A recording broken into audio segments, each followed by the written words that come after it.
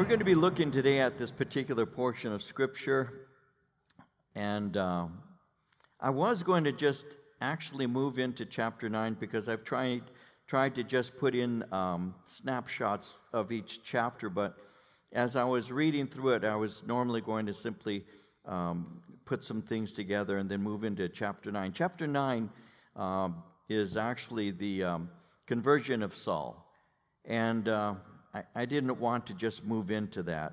Uh, I'd like to do that by itself. And so I was reading the verses before us, and, and the Lord was speaking to my heart some things. And I thought, well, you know what? I, will just stay with this today. And so we're going to be looking at the uh, conclusion of chapter 8 by looking at verses 26 through 40. And so I'll begin reading at verse 26 and uh, read to verse 29, and we'll get into our study this morning. We're looking at the subject, if you believe. So, beginning at verse 26, now, an angel of the Lord spoke to Philip, saying, Arise and go toward the south along the road which goes down from Jerusalem to Gaza. This is desert. So he arose and went. And behold, a man of Ethiopia, a eunuch of great authority under Candace, the queen of the Ethiopians, who had charge of all her treasury and had come to Jerusalem to worship, was returning, and sitting in his chariot, he was reading Isaiah the prophet.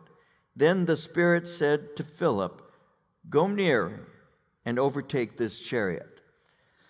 And so last time we were together in the book of Acts, we were looking at the spread of the gospel, how the gospel had begun to spread from the city of Jerusalem. Remember with me that Jesus had given a command, he had given a command to his disciples in Matthew 28. He had said in verses 19 and 20, Go therefore and make disciples of all the nations, baptizing them in the name of the Father and of the Son and of the Holy Spirit, teaching them to observe all things that I've commanded you. And lo, I'm with you always even to the end of the age. And so they were to go to all nations and they were to teach them even as he had commanded.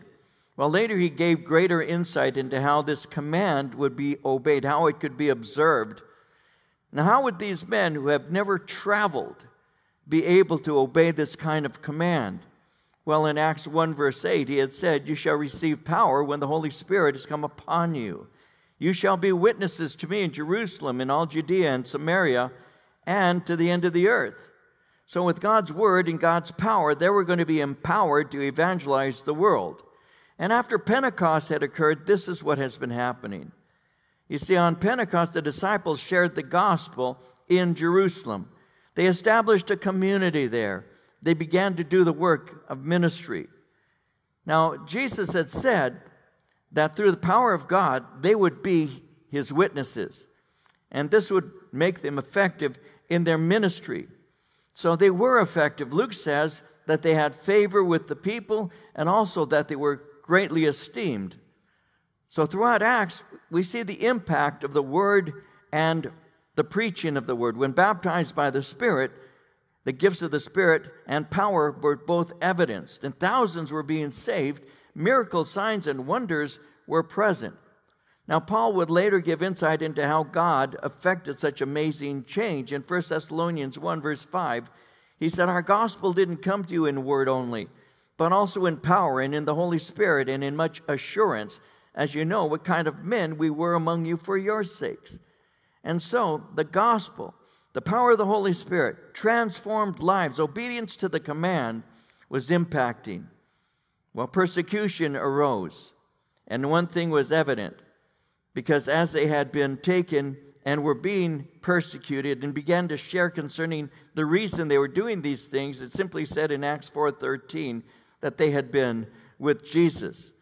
And so persecution arose, at first in a mild form, but it began to grow in intensity. It became so severe that they began to, to scatter throughout Judea into Samaria. Now, Jesus has said to preach in Jerusalem, Judea, and Samaria. And now we see the gospel as it begins to move out even further. In chapter 8, we saw Philip preaching the gospel in this region called Samaria. And now we see the gospel as it begins to move to the end of the earth. Multitudes have listened to the gospel. Multitudes have witnessed amazing miracles. Many are being saved. Many were being baptized. So Peter and John had come from Jerusalem, and they prayed for them that they might receive the Spirit. After dealing with false conversions, they returned to Jerusalem. And as they returned, they began to preach in many Samaritan villages. And that's where we're picking up our study. So, as all of this is taking place, verse 26 simply says, An angel of the Lord spoke to Philip, saying, Arise and go toward the south along the road which goes down from Jerusalem to Gaza. And then he has this, uh, this statement this is desert. So we're going to see Philip sharing the gospel with a high ranking Ethiopian official.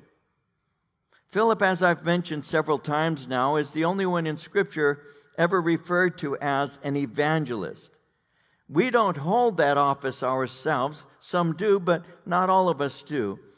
We may not hold the office of evangelist, but all of us are to do the work of one. In 2 Timothy chapter 4 verse 5, Paul said, "You be watchful in all things, endure afflictions." And he went on to say, "Do the work of an evangelist and fulfill your ministry." So we all in one form or another already do the work of an evangelist. We share with people the things that matter most to us. And so in the case of Philip, he's sharing the things of the Lord. Now revival is occurring.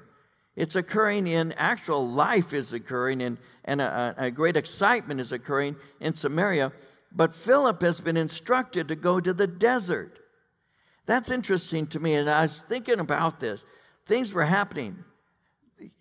Philip was seeing people saved. Philip was seeing people um, baptized in the Spirit. Philip saw miracles. He was performing miracles the, the Lord God was moving, and yet the Lord says to him, You need to go to a place that is dry. You need to go to the desert. And that's what is told to us here. He says, Go down from Jerusalem to Gaza, and then we're told, This is desert.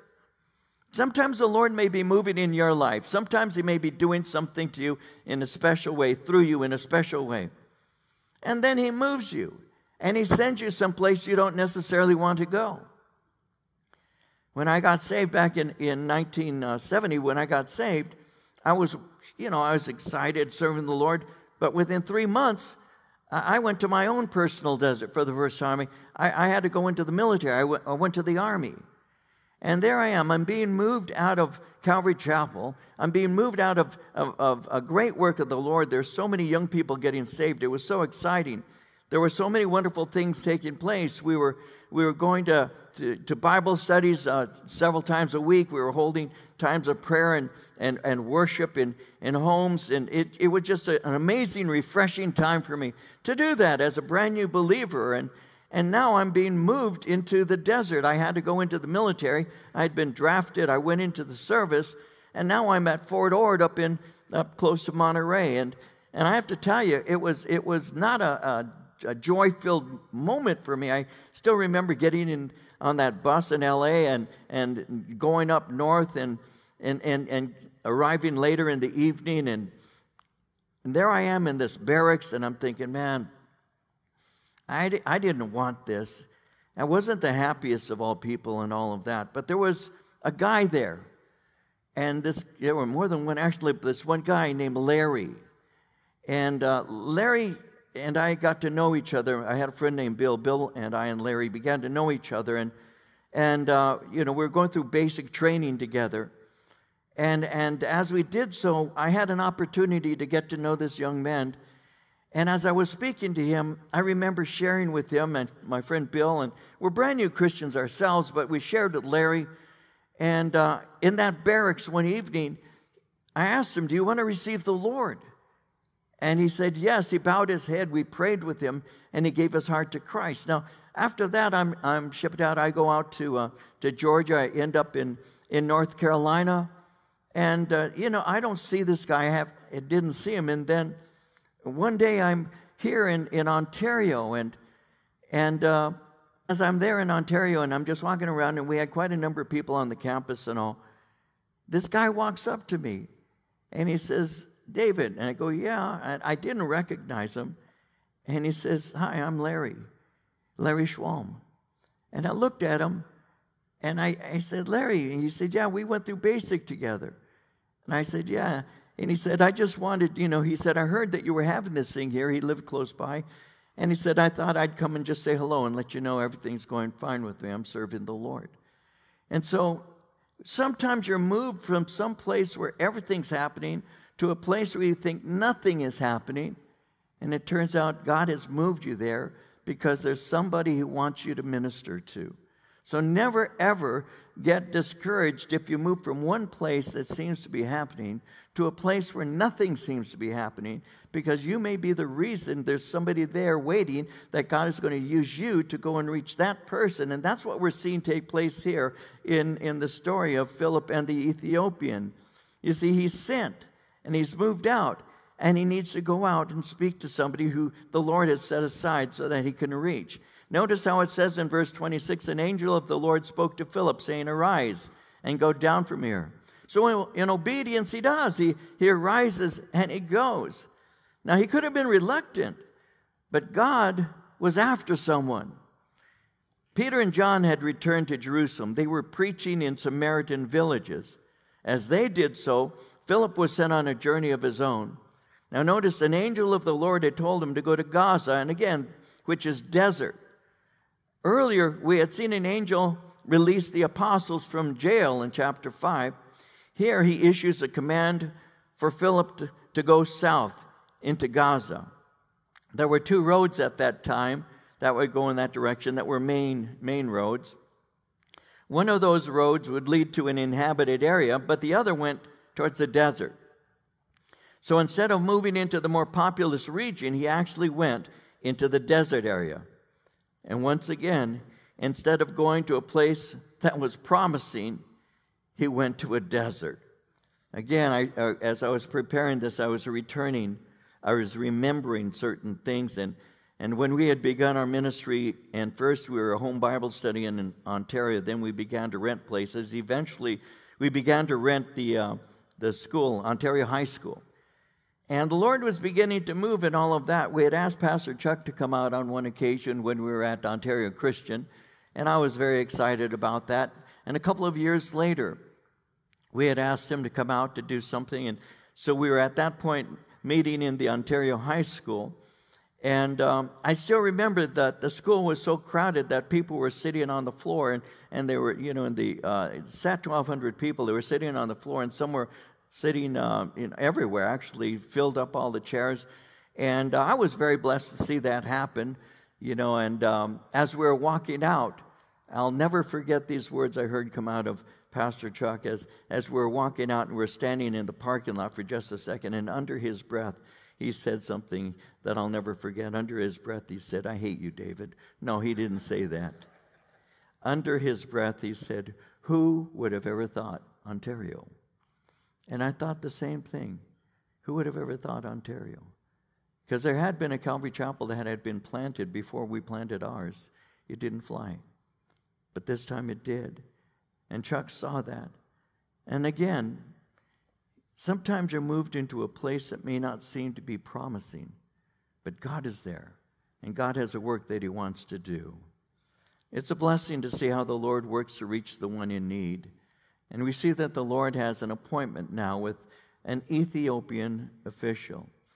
Now, when the angel of the Lord said, Go toward the south, that was a divine direction for the purpose of presenting the gospel to this man. Now, Philip had been used by the Lord to minister to multitudes while in the region of Samaria. And many had come to faith in Jesus Christ as he had preached he could be reluctant to preach after such an experience, but he's still sent. And that's going to strengthen his faith as he sees that Jesus seeks not only multitudes, but he also seeks out the one. Jesus spoke of the individual who is in need of salvation. He spoke of the man who was searching for his one lost sheep. He spoke of the woman who was searching for her lost coin. He spoke of a father who was longing for the return of his lost son. Jesus, the one who stopped by a toll booth and told a man named Matthew to follow him. He went to the, a city of Samaria to speak to a lonely woman at a well. He went across the Sea of Galilee to reach a man who was demon possessed. And each of these individuals were used to tell many of who Jesus is. And so the church is something that God will do a work in, but it sometimes begins with just one person.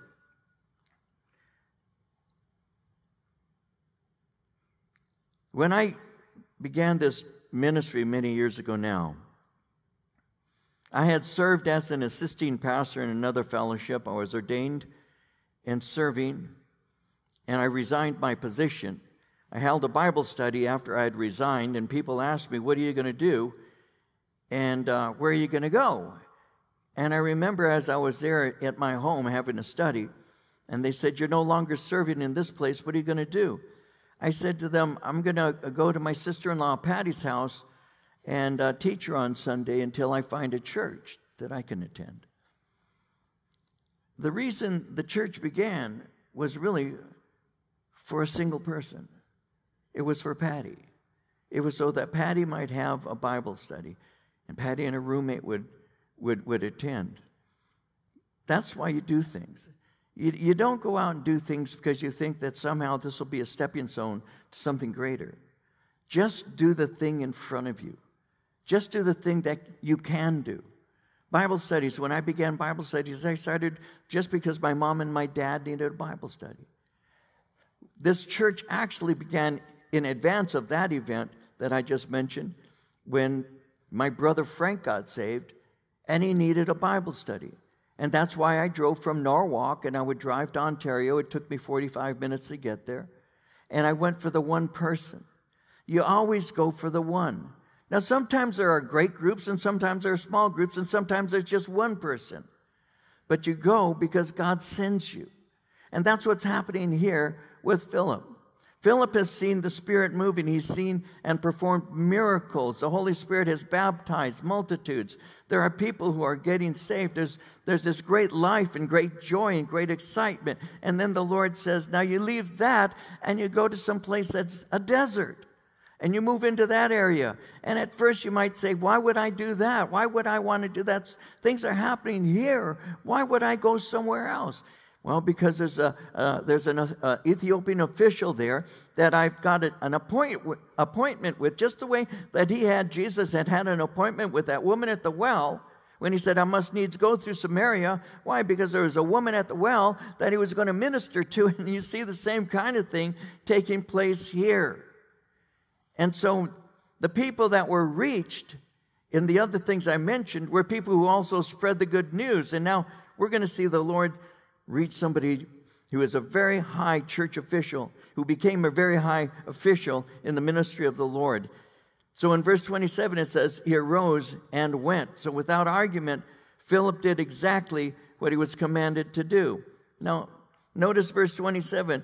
He arose and went. Behold, a man of Ethiopia, a eunuch of great authority under Candace, the queen of the Ethiopians, who had charge of all her treasury and had come to Jerusalem to worship was returning and sitting in his chariot. He was reading Isaiah the prophet. And so this man is spoken of as an Ethiopian. It speaks of him being a black man. Ethiopia is also spoken of in Scripture as Cush, and Cush is actually referring to blackness. This is a black man. He was a eunuch of great authority. He is a member of the court. Now, he's spoken of as a eunuch. Now, I'm going to share this for just a moment because it matters. We, we read about eunuchs in Scripture, and normally the word eunuch is used to speak of a man who has been castrated. But it doesn't necessarily mean that this man was castrated. Genesis 39, verse 1, speaks of a man by the name of Potiphar. And Potiphar is referred to as a eunuch, and yet he was married. This is a man who is referred to as a eunuch. He's a man of great power, which means that he's a, the minister of finance for Ethiopia. This very powerful man, who's referred to as, an, as a eunuch, has, has come to Jerusalem to worship. He's obviously searching. He was seeking to know the true and the living God, but he's returning to Ethiopia spiritually empty. Now, he had come to worship. The exact feast he was observing is not given. His time in Jerusalem didn't completely satisfy his spiritual hunger. Now, considering the spiritual state of the nation, he would have left unsatisfied. Again, he went, he went to worship, he's returning, but he's still empty. And it sounds very much like the, the way many people may, may return after a church service. They, they go to a religious service, but they, they leave empty. They're, they're left unsatisfied. They're hungry for truth, uh, but, but they, they don't hear it. This man was hungry for truth, and that made him uh, in a great position to receive Messiah. And there he is in verse 28, sitting in his chariot, and he's reading Isaiah the prophet. Now, in the midst of all of this, God is preparing the minister of finance for salvation. God saw his hunger, and he sent Philip there to share with him. In Jeremiah 29 12 and 13, it says, You will call upon me and go and pray to me I will listen to you, and you will seek me and find me when you search for me with all of your heart. And so this man is in a great position to be saved. Notice verse 29. The Spirit said to Philip, Go near and overtake this chariot. The Spirit said, Notice how, how he makes it clear that it's the Spirit who's speaking to him. You see that kind of phrase in chapter 10, verse 19. You see it again in chapter 11, verse 2, as well as chapter 13, verse 2. It's speaking of the person of the Holy Spirit.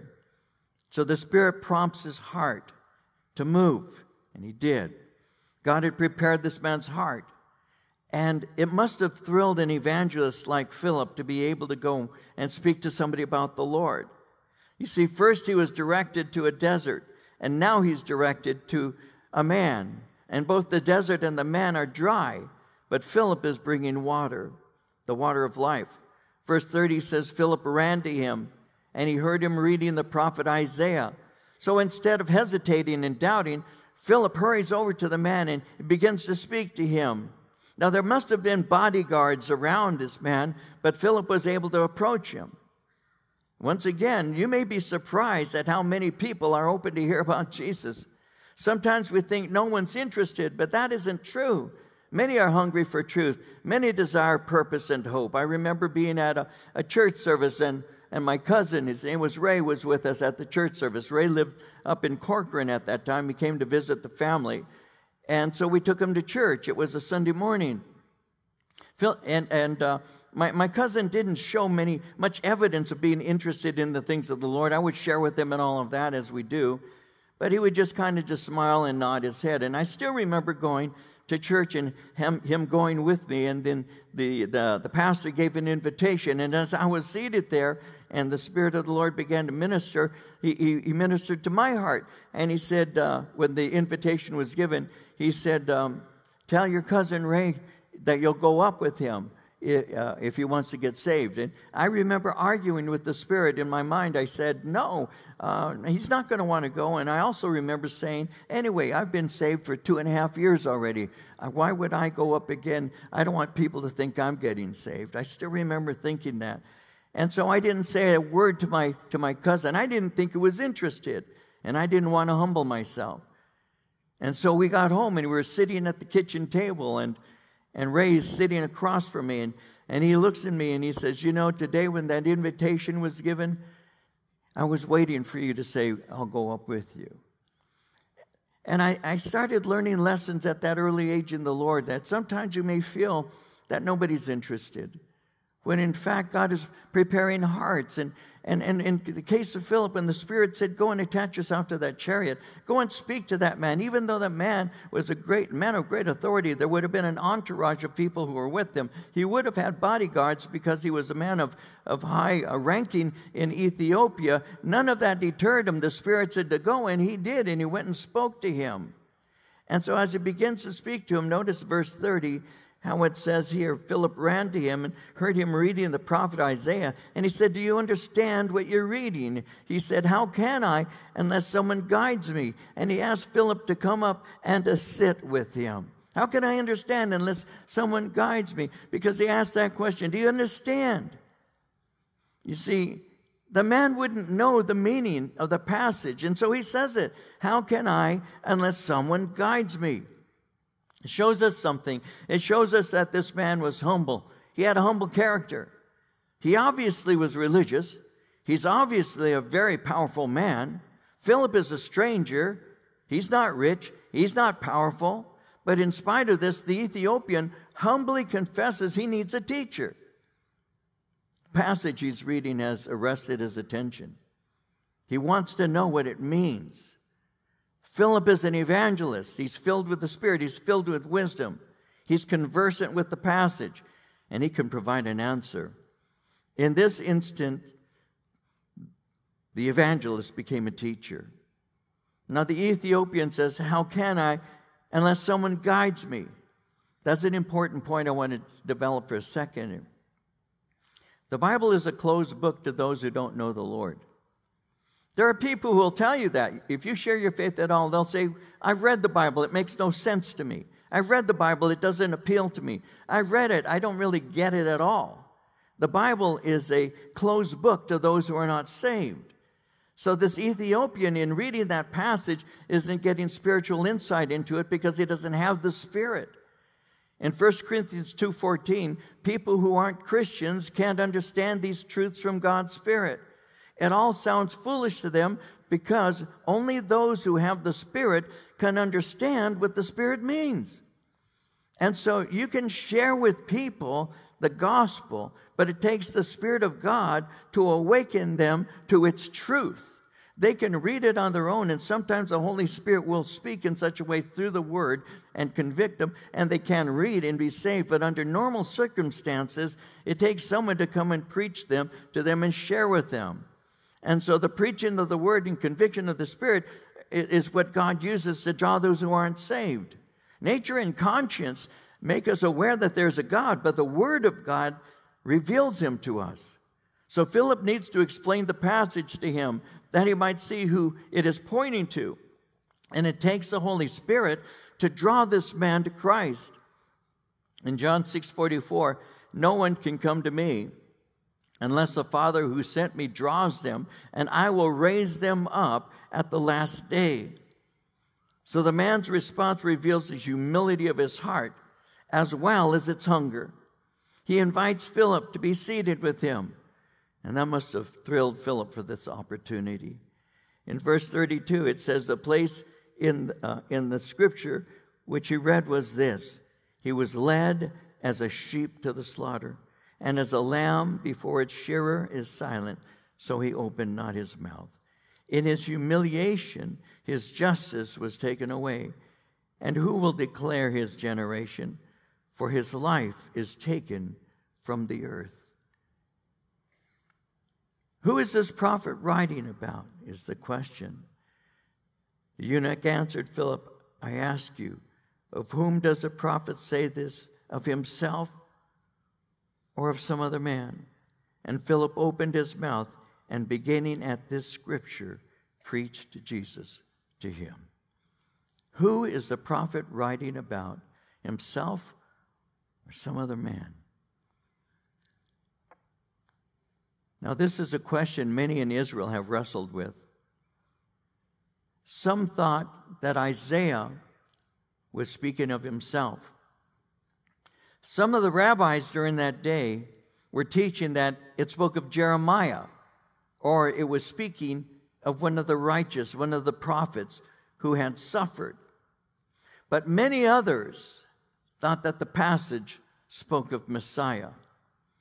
Philip obviously knew who was being spoken of in this passage. I was, I was, I listened to a Jewish man recently who was saying that in, in synagogue reading that uh, Isaiah 52 will be read, but they don't read Isaiah 53. They skip off into Isaiah 54. They still reject, even in synagogues to this day, that Jesus is Messiah. They skip over Isaiah 53. Well, this Ethiopian eunuch is saying, Who's being spoken of here? This man or some other man? And so what happens? I want you to see this. Verse 35 Philip opened his mouth and beginning at this scripture preached Jesus to him. Philip was filled with faith and power in God's word and he clearly shared Jesus. He started there and began to present to him who Messiah is.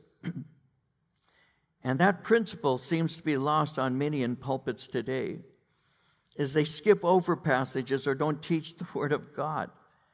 But that's been the strength of Calvary Chapel Ministries for many years, teaching the Word of God verse by verse and looking at what it says and how do you apply that.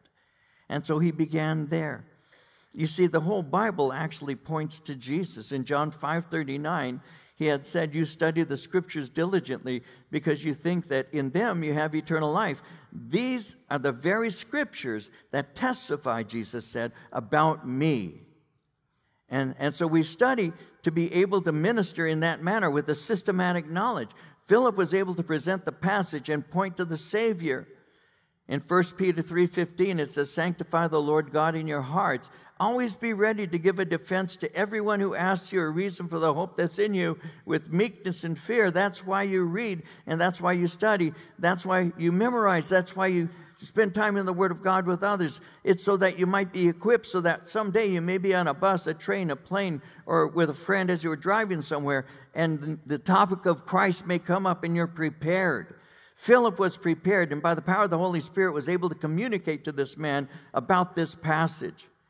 It says in verse 36 Now, as they went down the road, they came to some water. And the eunuch said, See, here is water. What hinders me from being baptized? And Philip said, If you believe with all your heart, you may. And he answered and said, I believe that Jesus Christ is the Son of God. It seems obvious that, that Philip shared how to have a relationship with God and, and told him who Jesus is. He would have spoken to him about what Jesus did, what his life was like, how he died on a cross, how he was buried, how the third day he rose from the dead, how he ministered, how he sent the Holy Spirit. He would have told him all of those things. He would have spoken to him of the command that Jesus said, Go into the world, preach the gospel, and baptize people. And so, as he did so, this, this man understood that to be a, a recognized follower of Christ was to make an open declaration and so he wants to be baptized. He knew that baptism, because he had been taught this, is a, a, picture of the new life that you have in Jesus. It's like what Paul later was to say in, in Romans 6 when he said in verses 3 through 5 Don't you know that all of us who were baptized into Christ Jesus were baptized into his death? We were therefore buried with him through baptism into death, in order that, just as Christ was raised from the dead through the glory of the Father, we too may live a new life. If we have been united with him like this in his death, we will certainly also be united with him in his resurrection. Death, burial, resurrection. This man says, What hinders me? Now, somewhere down the road, as he was hearing to the word, hearing the word of God, he came to believe. And in the midst of the desert, they came to some water. In the midst of the dryness, they found a place of refreshment. So he asked, What hinders me from being baptized? I want to follow Jesus. And before all of these people, I want to be baptized. I don't know how many of you are aware of a, a, a woman by the name of Sandy MacIntosh. Sandy MacIntosh is the wife of uh, Mike MacIntosh, who for many years pastored the church of Horizon, called Horizon Church. It was originally Calvary Chapel, San Diego. They changed it to Horizon, and he ministered there over 40 years. And Sandy was sharing how she came to faith in Christ, which I found very interesting, so I'll share it with you very briefly. She shared that even after she and her husband Mike had had problems, they had actually divorced, and, and he had gotten saved, and he was beginning to try and win her to Christ that he said, You need to come and hear this band that's playing. And they went to a place called Pirates Cove. And she said, She's there, and all of these young people are there. And, and there was somebody singing a song. But what it was, was it was actually a baptism. She's unsaved. She says, But I decided, I think I'll get baptized. She, she got in line. And as she's standing in line, the guy behind her says to her, Oh, you're getting baptized? He starts a conversation. And she says, Yeah. He says, uh, Do you know why you're getting baptized? And she says, Well, because everybody else is. And he says, Do you know the Lord? And she says, No, not really. And Sandy's testimony is that in the line on her way to be baptized is where she got saved. I think that's beautiful. In that line, this guy led her to the Lord, and then she got saved. You know, yeah, I think, I think that's great. So when you, when you follow the Lord, you receive water baptism, even as we did just recently. What is the condition to be water baptized? Well, notice if you believe, verse 37, if you believe with all of your heart, you may, if you believe. In Romans 10 9 and 10, if you confess with your mouth the Lord Jesus, believe in your heart that God has raised him from the dead, you will be saved. For with the heart one believes unto righteousness, with the mouth confession is made unto salvation. There is no such thing as half hearted conversions. This man knew what God had said concerning our duty to him. You see, in Mark 12, 29 and 30, Jesus said, The first of all the commandments is, Hear, O Israel, the Lord our God, the Lord is one and you shall love the Lord your God with all your heart, with all your soul, with all your mind, with all your strength. This is the first commandment. I used to teach a Bible study just up the street from here in, in a house there on, uh, on the corner of East End and, uh, and Philadelphia. It's made out of rock. Anybody who drives in that area can see it. It's still there. That house is there. I used to call it the Rock House, but I don't anymore. because that's not where you could buy rock. But anyway, it was, but it's it's made out, it's covered with rock, and um, and I used to live there. I spent twenty five dollars a month. That was how much we spent for uh, for rent. There were four of us, hundred dollars a month. Think about that for a second, but don't get depressed. It's a long time ago. But while I was there, I was doing a Bible study, and. Uh, it's funny because that was long before we actually purchased this property. Marie and I drove by, and this property, uh, even before we were married. And I still remember saying, now that would be a great, little did I know that the Lord had prepared this place for us some years later. But while I was there, there was a guy who was in our Bible study. He was one of the guys who would uh, come for the Bible study on Monday night. His name was Charlie. And Charlie listened to the word. He eventually got saved by coming to the Bible study. And then a, a few years later, I was speaking to him, and Charlie said, You remember when you said that we were to love, that the Bible said we are to love God with all of our heart, soul, mind, and strength? You remember that? I said, Yeah, that's what the scripture says, Charlie. He goes, I had a real problem with that. He says, Because I really love my children. He said, And the idea that I would love uh, God who, whom I cannot see more than I would love the babies that were born to me. He said, was such a foreign thought. He said, I couldn't grasp it. He said, and I didn't realize that when I began to love God more and more, I was able to love my children with a deeper, purer, and more passionate love than ever before. He said, I finally discovered what that means. To love God with everything means to make others loved greatly also. I said, Yeah, you put God first, and everything else flows from that, Charlie. And so this, this, this Ethiopian knew what Scripture said. You don't make half hearted commitments to God. You don't say to God, I'll follow you uh, one or two or three days a week, but the other days are mine. I didn't marry my wife Marie with the idea that you would love me twice a week on a Wednesday and a Sunday. I married her with the understanding that together we would love each other every day of the week, every moment of every second of every day, that we were fully committed. That's what marriage is. And our relationship with the Lord is not half hearted. It's not a kind of thing, well, I'll give you this much, but the rest belongs to me. And this Ethiopian knew that. To follow God requires a full commitment. And so as he hears the gospel, what doth hinder me from, uh, from being baptized. There's some water. In the midst of a desert, he finds some water. Here's some water. What's keeping me from it? And he says, You may, if you believe with all of your heart. And he says, I believe Jesus Christ is the Son of God. And before the entire entourage, he dedicates himself openly to the Lord. Now it says in verse 39 when, when they came up out of the water, the Spirit of the Lord caught Philip away, so that the eunuch saw him no more, and he went on his way rejoicing. But Philip was found at Azotus, and passing through, he preached in all the cities until he came to Caesarea. So he went north. So Philip is immediately taken away from the man. The spirit who led Philip to the desert and the Ethiopian is now moving him to a different direction.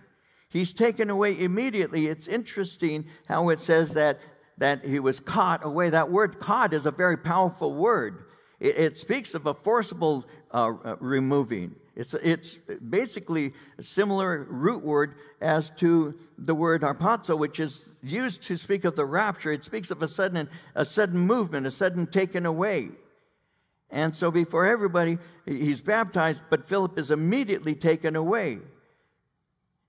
And as he's gone, the Ethiopian, it says, begins to rejoice greatly in his salvation. Now, verse 40 Philip was found at Azotus. Azotus is 20 miles north of, of Gaza. He's preaching in the cities. He continues going north to a place called Caesarea. Now, nothing is mentioned of the Ethiopian again, but there's a church father, Irenaeus, who wrote that this Ethiopian had become a missionary to the Ethiopians.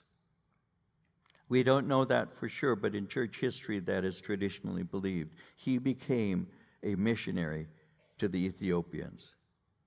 What we do know is this the Spirit prepared the man, and Philip brought that man to Jesus.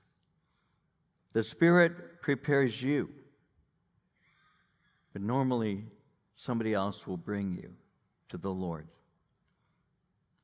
I believe that the Lord is still preparing people and that people need to hear that they can be saved. And I haven't gotten to the point where I think that we're completely lost as a nation.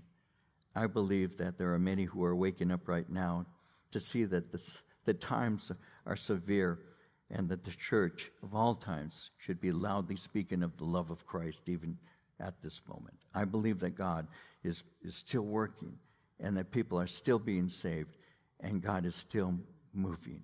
And we need to believe that, I think, as a group, because that's true. One last thing we were in the Silicon Valley just last week. We were invited to go and speak uh, of the Jesus movement as it occurred in the early days. Uh, what, a brother by the name of Mike McClure has a, a fellowship there, um, Fellowship Calvary up there in San Jose, and he had asked me, along with a couple of other guys over the weeks, to come and to share. And so we did. We sat on the platform and they asked questions before we spoke. We um, had Oden, Oden, who is a pioneer Mar- Maranatha music worship leader, and, and then I went up with my wife Marie and we shared a little bit. And they were asking questions about the movement because they had seen the movie Jesus Revolution and were curious as to uh, people who were firsthand uh, in that, who experienced that and came out of that, and they wanted to know what, what, what our opinion was as it related to that. And so we were able to go there. And so he was sharing with me how that in the midst of the Silicon Valley, where there is so much darkness, it's really kind of, I would call it the heart of darkness next to Hollywood uh, in California. There's so much unbelief and so much, so much uh, hatred towards uh, faith in God. And yet, in the midst of the, the situation, the COVID situation, he said, people began to be hungry for truth, for hope. In his church, when COVID hit, his church had 800 members, which is a good work in the Silicon Valley. It now has 3,000 because the Lord works through the darkness. People, guys, please don't let the don't let the enemy convince you there's no hope. Please don't. There is. There's always hope in Jesus Christ. There always is hope in Jesus Christ. You have not come to the end yet. So let's just be girded up. Let's share with people about who Jesus is and watch God move. In Christ, there is always hope. There is always love. There's always faith. There's always joy. There can always be peace if we keep our eyes on Him. This religious man, this Ethiopian, had gone to worship but left empty. He encounters a man on a road down going towards a desert. But this man brought the water of life gives him the word, presents to him Jesus. His heart had been prepared. He brings him to faith. Here's some water. What hinders me from getting baptized? You can if you believe with all of your heart. Oh, I do believe that Jesus is the Son of God. He baptizes him. He goes back rejoicing. And again, church tradition says that many came to faith in Christ through this Ethiopian. One man in a desert can change many people's lives when he finds the living water. That is the truth. Don't forget it. Don't forget it.